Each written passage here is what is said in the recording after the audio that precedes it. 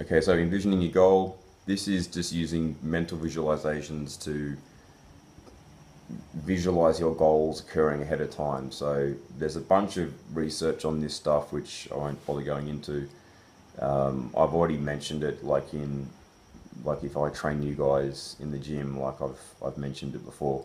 So what you're doing is, uh, so you can do this throughout the day, but we'll we'll keep it simple and just stick with when you're reading your goals, doing your morning routine, or if you're reading it at night.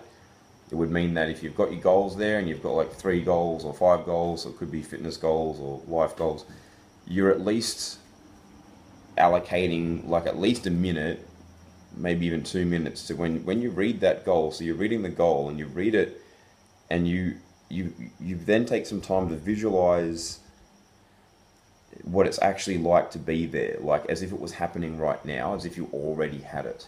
So if it was like a weight loss goal, for example, you don't imagine, you don't focus on what you have right now. You visualize yourself at the end point, like you've achieved your target weight and you're in different fitting clothes and what does that feel like and that feels amazing so you're using your imagination to artificially create a reality for your your subconscious mind because your subconscious mind can't tell the difference between what's real and what you imagine. So what you're doing is you're just imagining a new reality. And so when you imagine that new reality your brain thinks oh this has already happened.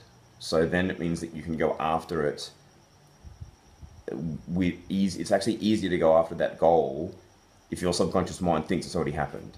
So the example I've got in the text is um, like you've brushed your teeth so many times before, you don't agonize over brushing your teeth. You just do it because your brain's just like, yeah, man, I've done that like a thousand times. Like, no worries.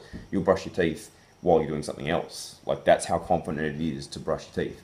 But if someone stuck you in a helicopter with like two minutes of instruction on how to fly a helicopter and was like, go, like you'd be like, oh, like you'd be freaking out because like your, your brain's like, nah, man, we haven't been here before. Like we don't know any of this stuff. Like um, it, you'd wig out. Like, and so it would mean that your actions while you were trying to fly it would be jerky, not sure. Um, you could imagine what that would be like. You'd be super hesitant. Like you might still be doing it, but you'd just be really ah, not doing it in a very confident way.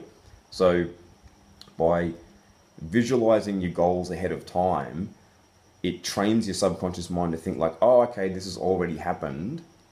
And so it means that you can go after them easier. It just makes the path there smoother. And um, again, it just helps to reinforce to yourself, this is where I'm going, this is what I'm doing. Um, again that front sight focus like focusing on this is what's happening. I'm doing this. Forget about everything else. I'm doing this. So it's just reinforcing this concept um, like multiple times throughout the day